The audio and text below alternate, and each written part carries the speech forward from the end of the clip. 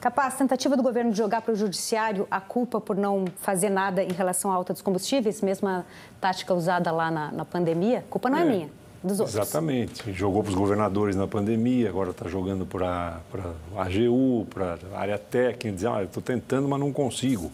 Eu acho que essa questão a gente falou aqui. Nós estamos falando de, no fundo, tem muitas outras medidas que você pode tomar do que privilegiar o diesel, sim, o diesel é correto, porque o diesel interfere em toda a cadeia produtiva, com transporte, ônibus e tudo, mas você tem que pensar, tem 10 medidas que foram listadas agora, inclusive numa matéria mundial aí, sobre a possibilidade de você economizar combustível, em vez de você reduzir o preço. As pessoas têm que mudar a atitude. Tem que ter mudanças de atitude que anda menos de carro, ou dá um jeito de. Por exemplo, se você favorece transporte coletivo, a pessoa, às vezes, tende a deixar o carro em casa e, e usar o transporte coletivo, fica mais em conta do que pagar R$ 8,50 a gasolina.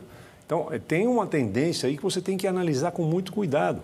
Muita gente é, começa a olhar outras alternativas. Agora, é, como falou o entrevistado, você reduzir para classe média alta o preço do combustível e dizer, olha, estou ajudando aqui por causa do, do, da guerra e tudo, precisa tomar muito cuidado com isso em ano eleitoral, mas muito cuidado mesmo.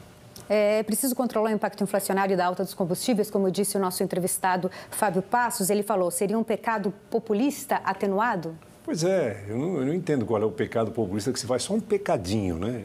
Pecado populista é pecado. O populismo, o uso da máquina pública para beneficiar quem está no cargo para se reeleger, não pode ser feito. Não pode, a sociedade tem que incriminar isso e não aceitar. Senão isso vira carne de vaca. Todo mundo que entra no poder fala, não, mas ó, lá atrás fizeram um pecadinho, vou fazer um pouco maior o meu aqui. Não pode, o uso da máquina pública a favor da eleição não pode ser feito.